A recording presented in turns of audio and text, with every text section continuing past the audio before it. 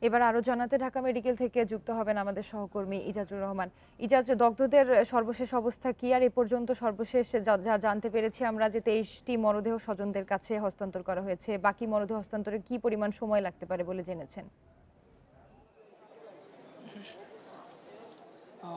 তেইশটির পরে গত এক ঘন্টায় দুটি, আরও দুটি মরদেহ হস্তান্তর করা হয়েছে। অর্থাৎ ঢাকা মেডিকেল এবং বার্ন ইউনিট মিলে টোটাল পঁচিশটি লাশ হস্তান্তর করা হয়েছে। গতকালকে বা রাতে যে লাশগুলো এসেছিল, সেই সংখ্যাটা এখন পর্যন্ত চুয়াল্লিশ। সেই চুয়াল্লিশটির মধ্যে পঁচিশ জনের লাশ হস্তান্তর করা হয়েছে। বাকি রয়েছে আরও বেশ কিছু লাশ। কিছুক্ষণ আগেও আমরা দেখলাম যে একজন স্বজন এসেছে এবং সারিবদ্ধভাবে যে লাশগুলো এখানে রয়েছে ঢাকা মেডিকেলে, তারা সেগুলো পরীক্ষা করছে, শনাক্ত করার চেষ্টা চলছে। যে লাশগুলো হস্তান্তর করা হচ্ছে, লাশ নিয়ে যাওয়ার সময় একটা শোকাবহ পরিবেশ তৈরি হচ্ছে। কান্নায় বলা যায় যে ঢাকা মেডিকেলের আশেপাশে আকাশ বাতাস অনেকটা ভারী হয়ে যাচ্ছে। বিশেষ করে একই পরিবারের আমি দেখলাম যে পাঁচজনের যে মৃত্যু হয়েছে, ইতালি প্রবাসী যিনি গ্রিন কার্ড পেয়েছিলেন, কাউসার তিনি ফ্যামিলি নিয়ে, অর্থাৎ তার তিনি তার স্ত্রী এবং তিন সন্তান নিয়ে গিয়েছিলেন সেখানে সেলিব্রেট করার জন্য গ্রিন কার্ড পাওয়ার কারণে।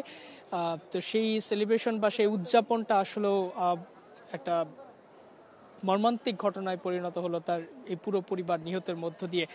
এই পরিবারের অন্যান্য যারা ছিল স্বজনরা এখানে এসে মৃতদেহ কিছুক্ষণ আগে তারা নিয়ে গেল। কান্নায় এখানকার অন্যান্য লোকজনের মাঝেও চোখের পানি অনেকে আটকে রাখতে পারেননি।